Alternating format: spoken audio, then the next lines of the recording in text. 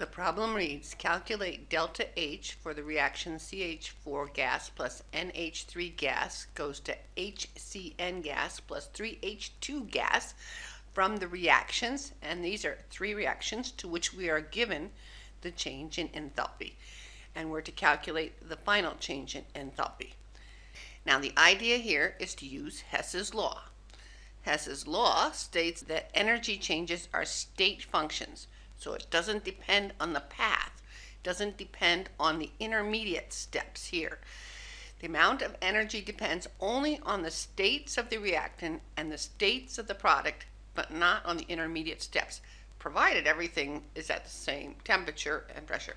So we are assuming that these four reactions satisfy Hess's law. Okay, so what does that mean? That means that what we're going to do is find factors for each of these so that we get this reaction and we're going to multiply delta H times each of the respective factors and add it up. So what's key here? NH3. NH3, this is on the wrong side and there's two of them. So we need to multiply by minus 1 half. So we're going to multiply this by minus 1 half. Next, What's key here? CH4. Right number, wrong side, so minus 1. And the last one is we see HCN. It's on the correct side, but there's too many of them. So it's just 1 half times that. So what do we have? We have, let's write these down, minus 1 half N2 minus 1 half times 3 minus 3 halves H2. And on this side, let's draw a line. We have minus 1 half times 2, so minus NH3. So delta H of this reaction here is minus 1 half times minus 91.8. Next one down. We have minus C minus 2H2 on this side, and on this side we have minus CH4.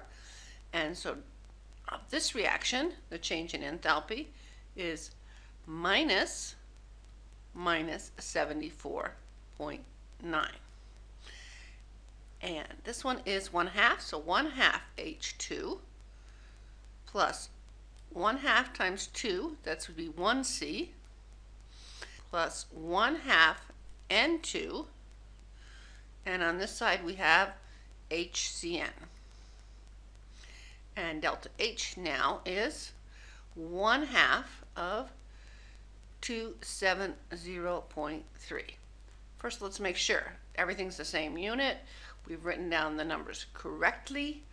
We've written down the same factors, yes? And we're going to check this part by making sure we get the original reaction. So first of all, the odd things out should cancel. Here it goes. 1 minus 1 half N2 goes with 1 half N2. And minus C goes with plus C. We should be only left with reactants that are here. So we have minus 3 halves, that's minus 1.5. Minus 2, that's minus 3.5. And then plus 1, so minus 3H2 on this side.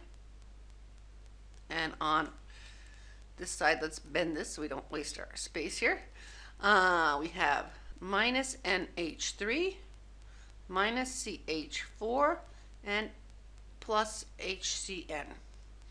Put the minuses on the other side. What do we get? We get NH3 plus CH4 goes to HCN plus 3H2. Is that the same? It is indeed we're good to go. So now we just need to add these up. So delta H of the main reaction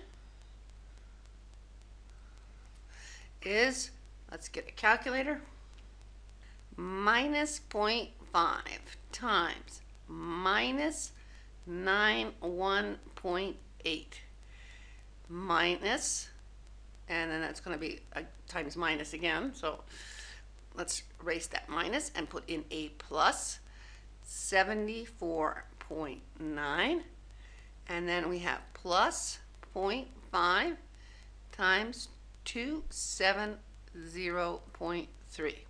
So minus 5 times minus, and then those two minuses together are plus, and then this is plus. So we're good. Enter 255.95. So 255.95, and that is kilojoules per mole is our answer.